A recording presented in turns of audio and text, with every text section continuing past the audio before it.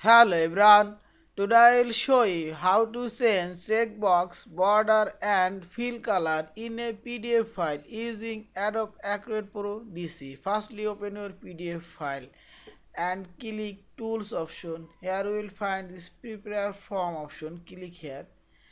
And here you will find this checkbox option, click here checkbox and draw your checkbox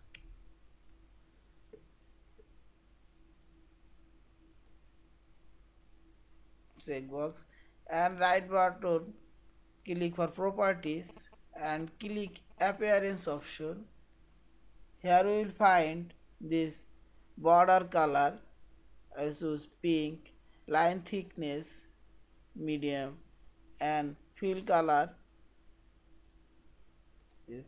and line style solid. Now click close. Click preview this checkbox border and fill color saves. Now click edit option. Now see this checkbox border and fill color. Choose border color. Line thick fill color red sorry blue and dash.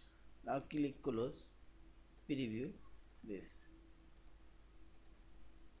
and finally click file option save as a pdf file. Thank you for watching. Please subscribe like share and comments